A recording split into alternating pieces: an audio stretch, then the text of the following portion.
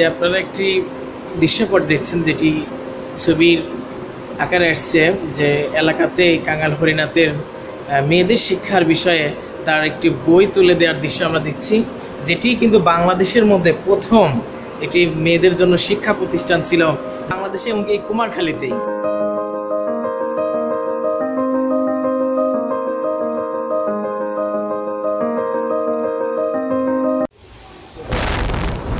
সুপ্রিয় দর্শক মণ্ডলী আপনারা দেখতে পাচ্ছেন একটি বৃষ্টি ছন্দ সাথে আমরা মিলিত হয়েই কাঙ্গাল হরিনাথের দৃষ্টিনন্দন একটি জাদুঘরে আমরা উপস্থিত রয়েছি একটি মনোমুগ্ধকর পরিবেশে যেখানে ইতিমধ্যে আমরা বৃষ্টির ছন্দে নিজেদেরকেও মনের আনন্দে যেন ছন্দহারা হয়ে যাচ্ছি।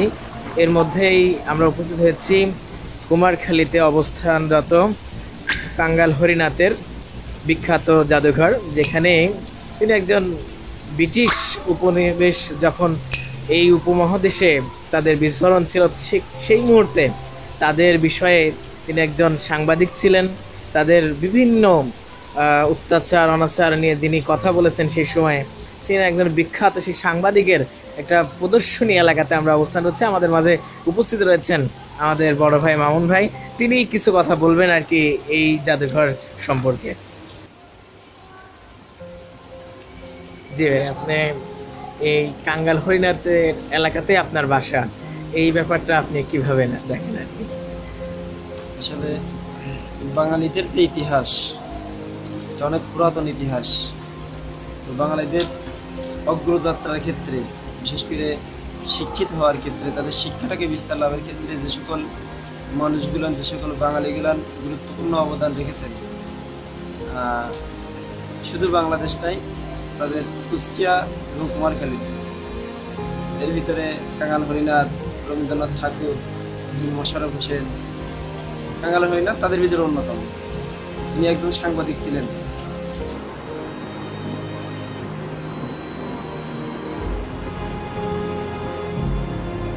আপনারা দেখছেন, ওনার এই জাদুঘরে ওনার ছবি আছে।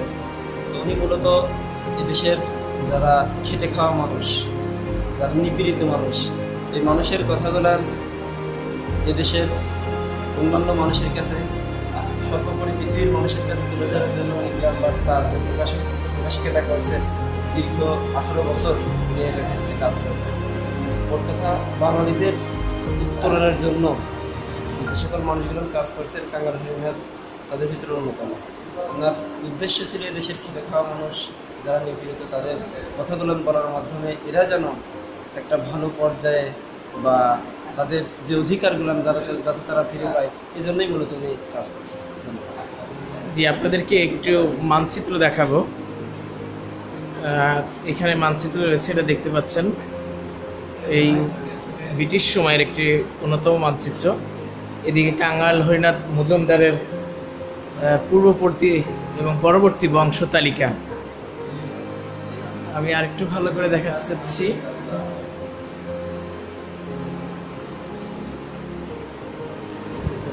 জি, আপনারা দেখছেন যে তৎকালীন সময় সাংবাদিকতার পুরনো মাধ্যম হলেও এখন সেটি আমাদের কাছে ইতিহাস, সেটি আমাদের কাছে একটি শিক্ষণীয় ছাপাখানার ব্যবহৃত কাঠের টাইপ কেস আমরা দেখতে পাচ্ছি আমাদের সামনে।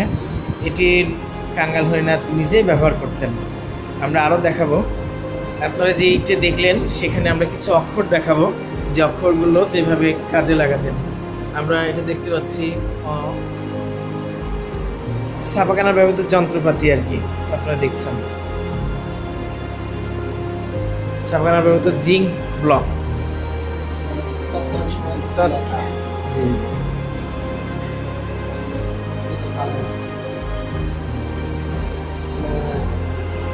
ব্যবহৃত যন্ত্রপাতি হ্যাঁ যন্ত্রপাতি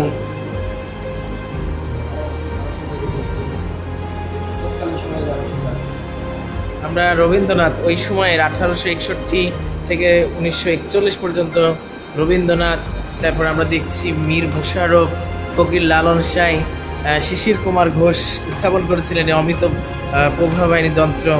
তারপরে বিভিন্ন বিখ্যাত ব্যক্তিদের কাঙ্গাল হরিনাথের সহধর্মিনীর ছবি আমরা দেখতে পাচ্ছি। সব মিলে এখানে রয়েছে আপনাদেরকে সকলকেই কুমারখালীতে আসবার উদাত্ত আহ্বান জানাব যে এই সমস্ত স্মৃতিপটগুলো সঙ্গে দেখা যায়। যে আপনারা একটি দৃশ্যপট দেখছেন যেটি ছবির আকারে আসছে যে এলাকাতে কাঙ্গাল হরিনাথের মেয়েদের শিক্ষার বিষয়ে তার একটি বই তুলে দেওয়ার দৃশ্য আমরা দেখছি, যেটি কিন্তু বাংলাদেশের মধ্যে প্রথম একটি মেয়েদের জন্য শিক্ষা প্রতিষ্ঠান ছিল, যেটি কাঙ্গাল হরিনাথ। প্রথম তিনি মেয়েদের জন্য একটি স্কুল প্রতিষ্ঠা করেছিলেন এই বাংলাদেশে এবং এই কুমারখালীতেই। নিঃসন্দেহে একটি বাংলাদেশের পথযাত্রা মেয়েদের যে শিক্ষা অঙ্গনের একটা যে জায়গা, সেটি কিন্তু কাঙ্গাল হরিনাথের হাত ধরে হয়েছিল, এটি নিঃসন্দেহে বলা যায়। যে আপনারা দেখতে পাচ্ছেন, গ্রাম বার্তা প্রকাশিত বাংলাদেশের প্রথম মাসিক পত্রিকা, যেটির সম্পাদক ছিলেন কাঙ্গাল হরিনাথ, যেটি তৎকালীন সময়ে জুলুম নির্যাতনের বিভিন্ন প্রতিশ্রুতি এই পত্রিকার মধ্য দিয়েই প্রকাশিত হতো। আরও অনেকগুলো পত্রিকা রয়েছে।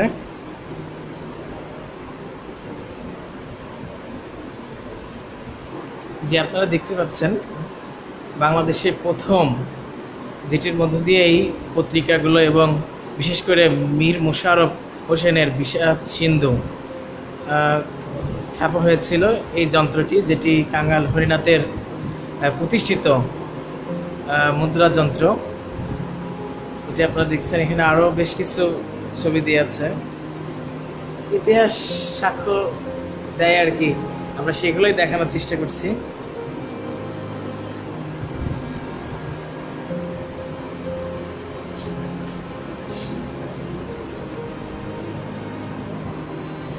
আমরা কিছু কবিতা দেখ- দেখাবো কাঙ্গাল হরিনাথের, যেগুলো নিঃসন্দেহে কালের সাক্ষী হিসেবে আমাদের কাছে এখন অবস্থানরত।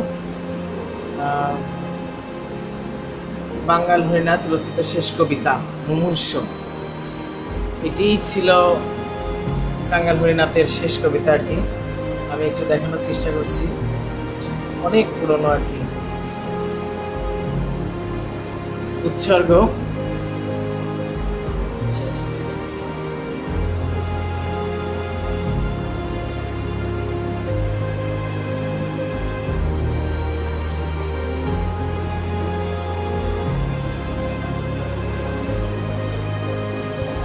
যে এখানকার দৃশ্যপট দেখে আপনার অনুভূতি যদি একটু ব্যক্ত করতেন। যে আপনারা কাঙ্গাল হরিনাথের অনেকগুলো দৃশ্যপট দেখেছেন। আমি একটা দৃশ্যপট খেয়াল করলাম। তিনি কবি, সাহিত্যিক এবং তারই পাশাপাশি যে একটা লাঠি আনছিল এবং আশ্চর্যজনক বিষয় হচ্ছে, হরিনাথ, হরিনাথের কাছ থেকে লালন শাহ, আমাদের কবিগুরু লালন, সে কিন্তু তার কাছ থেকে লাঠি শিখেছে এটি কিন্তু একটা আমাদের কুষ্টের কুমার খালি একটা গর্বের বিষয়। এবং এটা যে, তিনি যে শুধু কবি সাহিত্য ছিলেন সেটা তাও না, তিনি একটা লড়াকু সৈনিকও ছিলেন বটে। এটাই তার চিত্র ফুটে উঠছে। তো সবাইকে শুভেচ্ছা জানিয়ে এখানে আসার আহ্বান জানিয়ে আমি দর্শক, আমরা অনেকগুলো দৃশ্যপট আপনাদেরকে দেখিয়েছি কাঙ্গাল হরিনাথের যে দৃশ্যপটগুলো বাংলার ইতিহাসে যুগ যুগ ধরে থাকে তারই নমুনা মাত্র আমরা কিছু দৃশ্যপট আপনাদেরকে দেখিয়েছি কাঙ্গাল হরিনাথের যিনি ছিলেন একজন বিখ্যাত লেখক এবং বাংলাদেশের বিভিন্ন প্রেক্ষাপটে নারীদের জন্য তথা বাংলাদেশের বিভিন্ন নির্যাতনের প্রতিশ্রুতি কিন্তু তিনি তার লেখনীর মাধ্যমে তুলে ধরেছেন।